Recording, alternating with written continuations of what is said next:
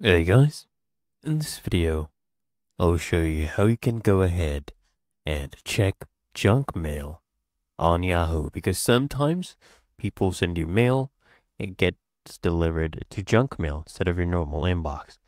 So when you're on yahoo.com, you'll see this option right here, this icon. This is your mail, so go ahead and click on this. They will open up a new window, right?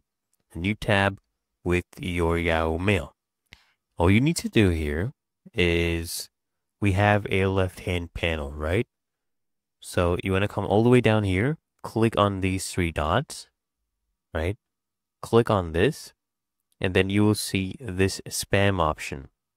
So spam and junk mail, this is synonymous. So you can go ahead and click on spam to basically access your spam or junk mail. It's the same thing, different names. And here you go, guys. You can see I have some junk email right here. And it's really that easy. It's simple.